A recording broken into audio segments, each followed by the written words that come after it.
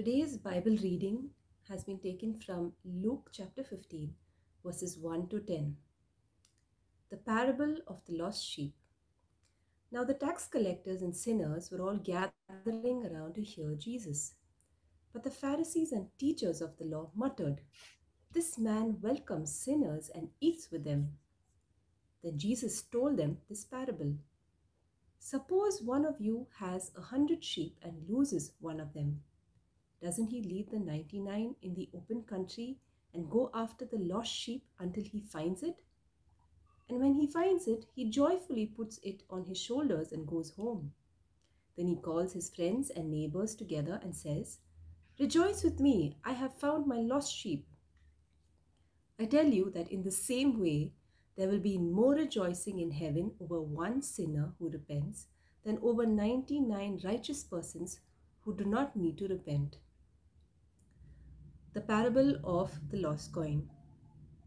Or suppose a woman has 10 silver coins and loses one. Doesn't she light a lamp, sweep the house, and search carefully until she finds it? And when she finds it, she calls her friends and neighbors together and says, Rejoice with me, I have found my lost coin. In the same way, I tell you, there is rejoicing in the presence of the angels of God over one sinner who repents. Thank you, Nandita, for uh, reading our, Bible passage today. And um, Tiara, that was just awesome. Thank you so much. I think your songs were just uh, beautifully spoke to today's topic of lost and found. Um, so welcome everyone. It's great to have you join us today in our worship. And um, so before I begin, I'm just going to get uh, tell a little story. So this was I must have been about five years old, maybe just a little bit older. But um, my cousins and I, my uncles and aunts, one evening, it was uh, maybe eight o'clock at night, um, decided to go to Marina Beach. And so we all piled in the car, and you know there was about two or three cars, and we went to the beach. And as many of you might know, Marina Beach is quite um, crowded and it was night, so it was dark. Anyway, when we got to the beach, um, my cousins and I got out of the car and we saw these little crabs. You know, I don't know if you've seen these little crabs that scurry around and they dig holes in the sand, and we were fascinated. So next thing you know, the four of us just shoot off into the crowd chasing after these crabs. And we had the best time, you know, just looking for these crabs, trying to find them, running around in the crowd never realizing that, I don't know, it must have been maybe 10, 15, 20 minutes, not more than that. But when we came back to where the adults were, oh boy, did we get into big trouble because they thought we were lost. We hadn't told them we were running off. We didn't even think about it. So we took off. And I think for them, you know, a few or 20 minutes of heartbeat, like heart stopping in their mouths because they thought we were lost. So there's nothing more terrifying than, say, for parents when a child gets lost or when we lose something that's of great value to us. Now, some of you who know me know I love rings. You can see I have quite a, quite a bit of a collection. And a couple of years ago, I lost a silver ring. And I remember searching high and low for it. I looked all over the house and I even retraced my steps to the bus stop and was you know looking on the ground the whole way through and back hoping i'd find this ring. Now not particularly because it had monetary value for me but because um, a close longtime friend had given it to me as a gift and it symbolized the strong friendship and bond we had I think we've all been in similar situations. And if someone uses an analogy or a similar story to make a point or explain a fundamental truth, I think we'd be able to easily relate to it and therefore quite easily grasp the truth or the point that it was trying to make. And it was no different in Jesus's time. Jesus, the master storyteller, used parables or stories that related to everyday life that his audience would be able to easily relate to and grasp in order to explain fundamental truths, especially about the kingdom of God. Now, a couple of weeks ago, Pauline spoke about the sower, and last week, Danny introduced treasures or hidden treasures. This week, we continue by looking at two more stories that Jesus used to reveal a fundamental truth about God's kingdom of being lost and found. So I'm just going to share my screen. I do have a PPT. Okay.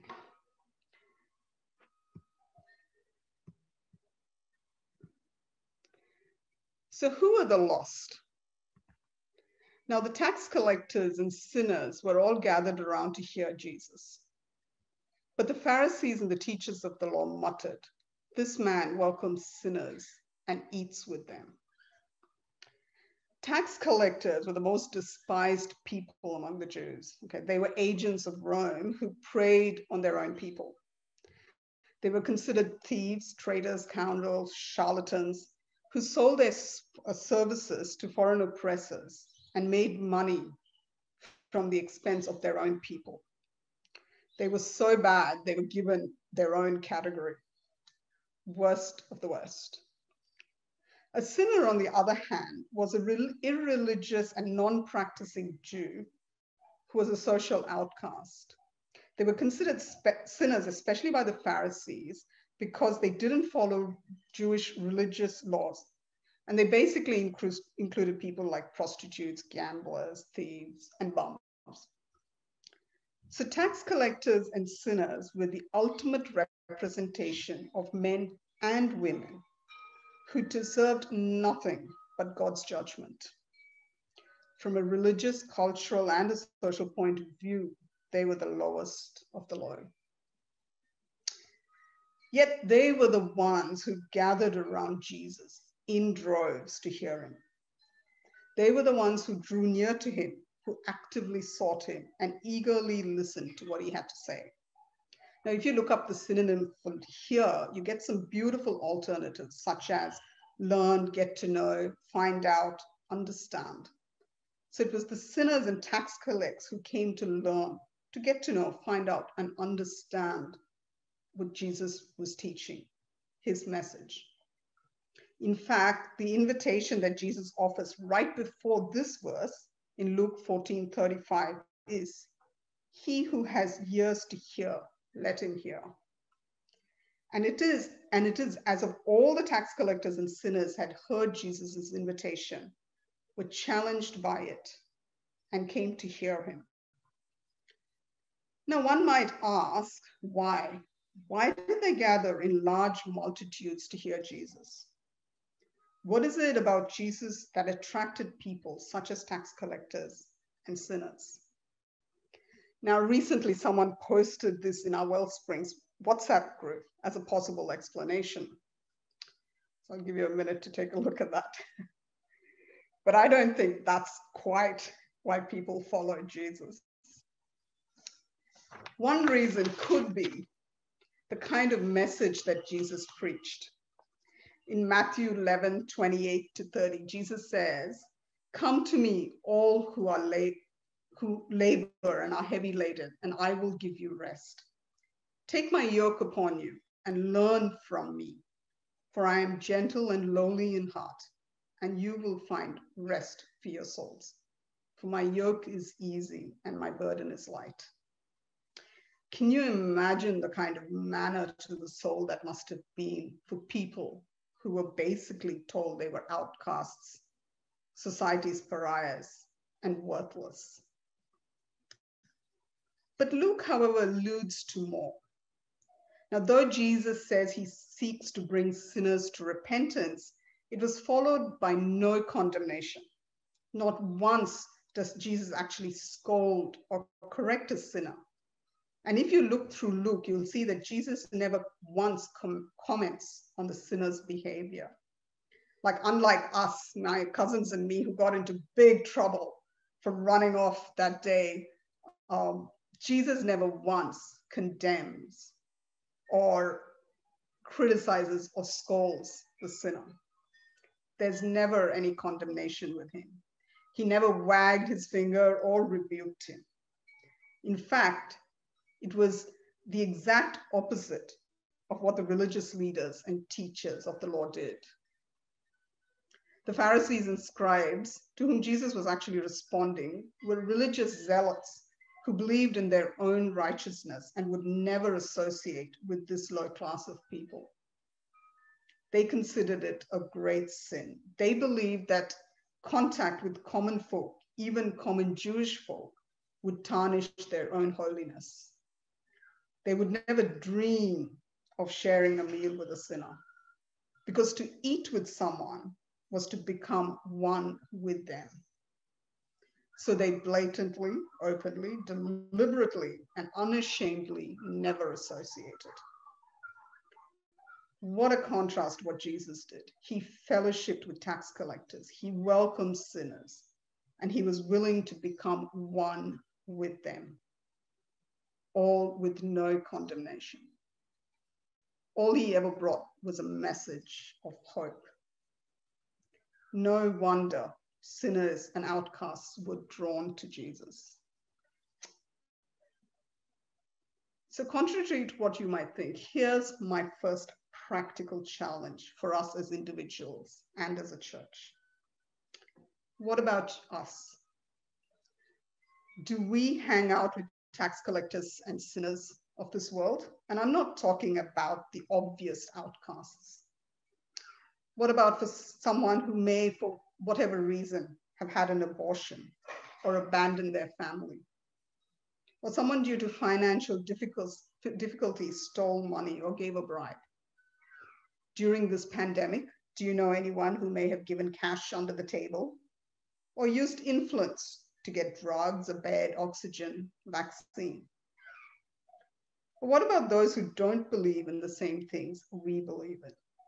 Currently, Australia has a law, um, it's called Voluntary Assisted Death Act.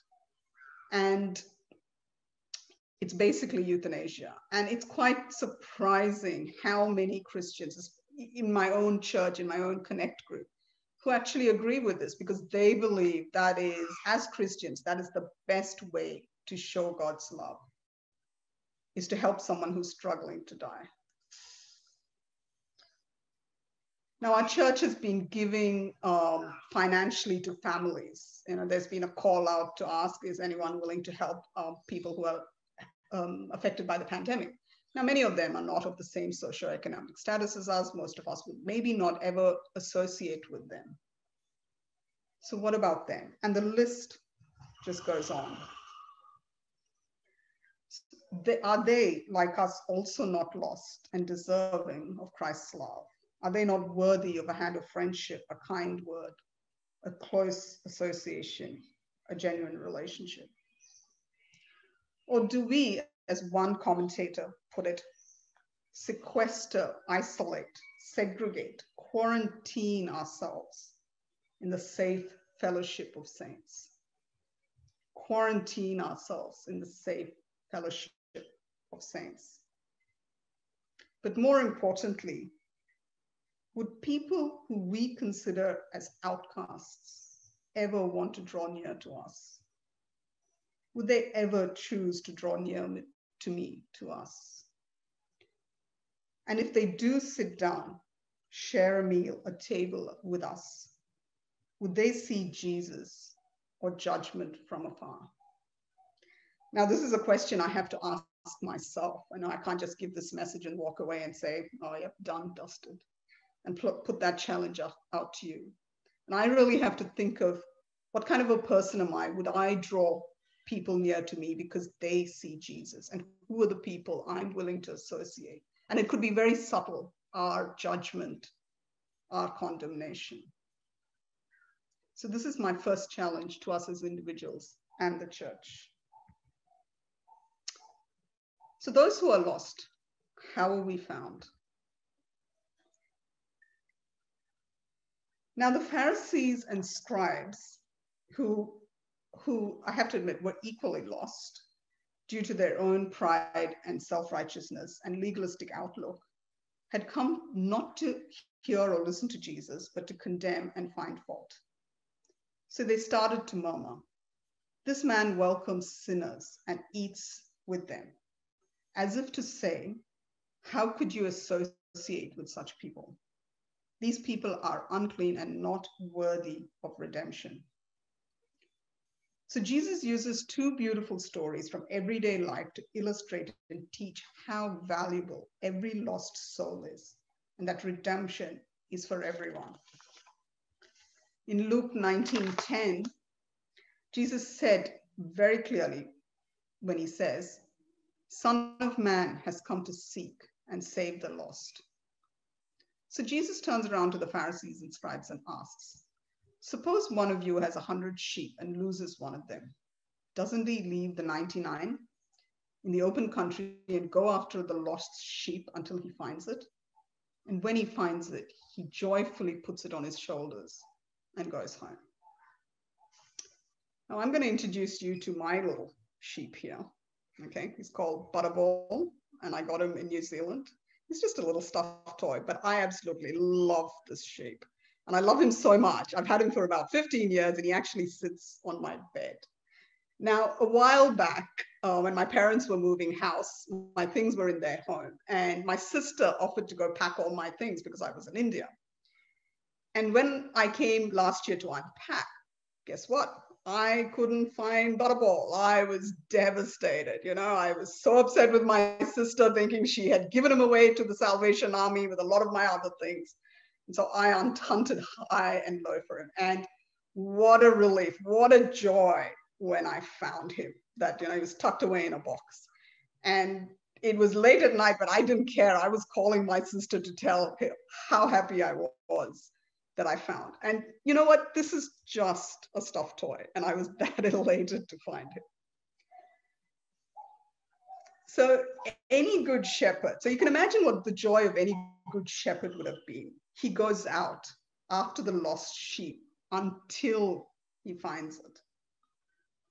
It's as if, as soon as the shepherd realizes that one of his sheep is missing, he drops everything, leaves the other 99 in the open country, probably exactly where they were grazing, not safely tucked away in their pens, and goes frantically looking for that one lost sheep until he finds it. Now, apparently, sheep have an instinctive tendency to wander. And if the shepherd did not go out and seek this lost creature, it would not have found its way back to him. So he doesn't stop and doesn't give up until he rescues that which was lost. A beautiful picture of the Good Shepherd, a passionate, persevering Savior who delights in saving the lost. Similarly, the story of the lost coin. Yeah.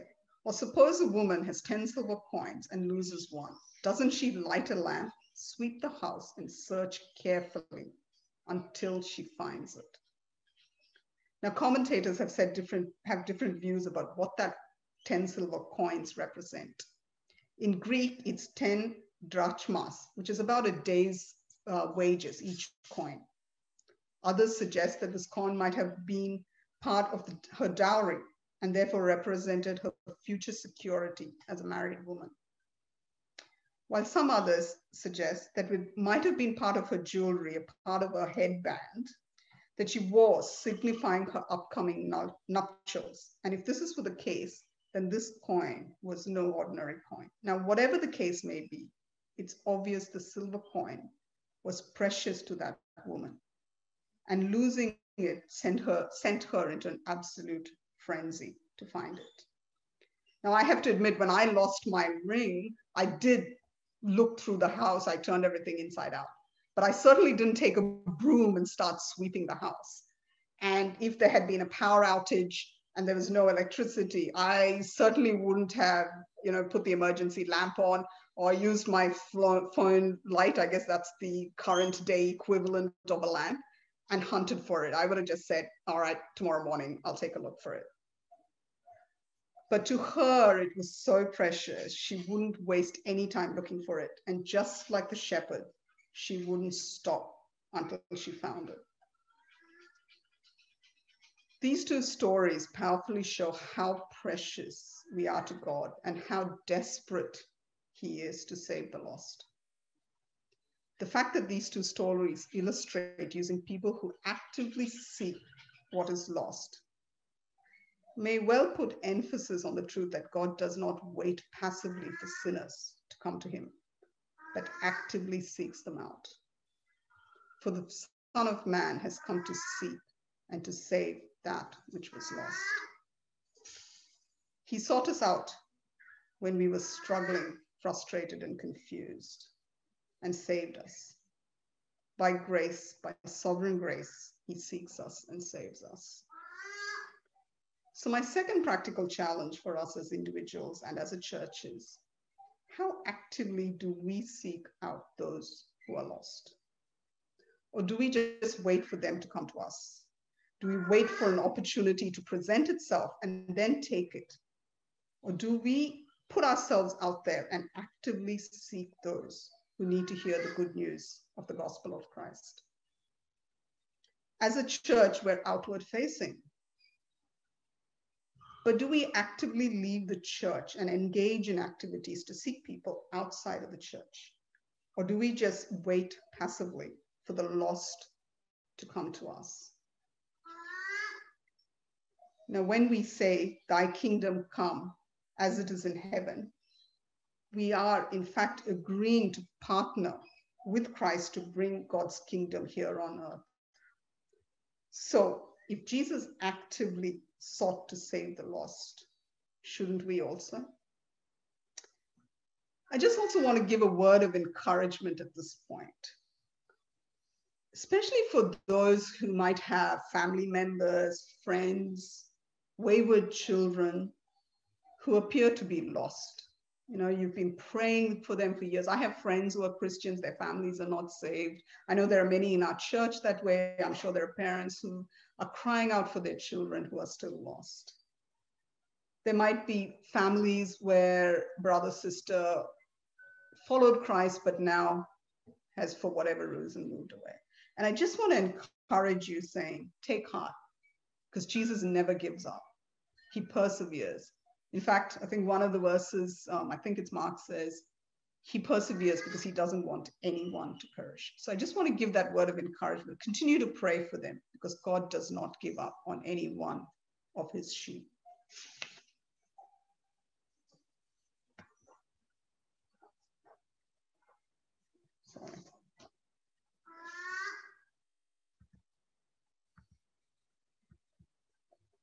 So my third point is what happens when the lost are found? And when he finds it, he joyfully puts it on his shoulders and goes home. Then he calls his friends and neighbors together and says, Rejoice with me, I have found my lost sheep. I tell you that in the same way, there will be more rejoicing in heaven or over one sinner who repents than over 99 righteous persons who do not need to repent.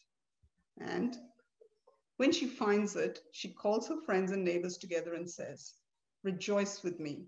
I have found my lost coin. In the same way, I tell you, there is rejoicing in the presence of angels over one sinner who repents. So, being found, if you look at the verses carefully, can only happen when one who is lost repents. Jesus says in Mark 2:17, I did not come to call the righteous, but sinners to repentance. And both these stories clearly show that being found can only happen when the sinner who's lost repents. So, in fact, some commentators believe that the 99 righteous persons who did not need to repent was actually aimed at the Pharisees and the scribes who trusted in their own righteousness, so did not see the need for repentance and therefore were not truly saved. Jesus used these stories to teach them that they themselves might not be as secure as they thought. In fact, the real point behind these stories show, was to show the Pharisees and scribes how wrong they were for, con, for being condemning when they said he comes, he welcomes sinners and eats with them. Jesus completely turns it on its head and says, No, you should be rejoicing, not griping. Rejoice with me, for I have found my lost child. And truth be told, it's such a wonderful thing that, that there is more rejoicing in heaven, clapping, cheering, high fives being handed around when one sinner repents than 29 who think they don't need to be saved. What grace, what love, what joy. A wonderful picture of elation and jubilation when a sinner repents and is inducted into God's kingdom. Rather poetically put by a pastor Bill Bryan when he says, Whenever guilt is kissed away by God's grace, the angels go wild. And another uh, point of encouragement that just came to me when I was thinking about this is also that um, this is mainly for those who are, again, praying for family members or are in ministry who have walked with someone in whatever small way to bring them to Christ. It might have been a long journey. You may never know if the person you've been praying for, the person you've been mentoring, the person you've been talking to, it might just be a small word, it might have been a con uh, small conversation, whatever it might be, a small seed that was sown. Now, when that person repents and becomes uh, comes to God, just picture in your mind the rejoicing that takes place in heaven, and you were a part of that.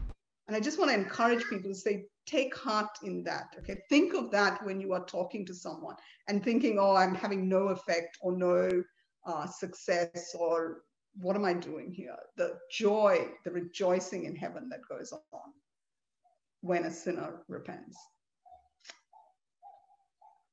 So, is that the end of the story? Did Jesus wipe his brow and say, Phew, okay, that one's done, on to the next? And what about us, the lost who have been found? Is it the end, as in they lived happily ever after the end? By no means, it's just the beginning. So, how do we move forward? So, just to end, I just want to share very quickly my thoughts on how, once we are found and saved, we can move forward. The first one don't get lost again. As in, once you're saved, you're saved, but don't lose your way. Don't waste this amazing gift of grace that was bought at such a high cost. Remember how much it cost to find you, but also remember what utter unbridled joy and celebration was in heaven when you were found. Don't let it slip from you. Continue to have ears to hear and draw near to Christ. Two, grow in Christian maturity. When we repent and are saved, we are filled by the Holy Spirit. Now, one of the workings of the Holy Spirit is to help us grow in our faith and to become more like Christ. So don't remain as children, but grow and mature in Christ. In our last series, we looked at one such way that we could do this, and that was through the fruit of the Spirit. So don't be like the seed that fell on the path or among thorn bushes or where there was little soil but cultivate and be the good soil in which God's word can grow and bear much fruit. And finally, bear fruit for God's kingdom. In John 15, 5, Jesus says, I am the vine, you are the branches. He who abides in me and I in him bears much fruit. For without me, you can do nothing. So as you continue to grow in Christ and abide in him, ensure you're also bearing much fruit for God's kingdom. By grace, you were purchased, but don't let it stop with you. Befriend, pray, help, get actively involved. Actively seek ways and means to take the blessings of salvation you received and pass it on to others. That's what God has called us to do. Amen.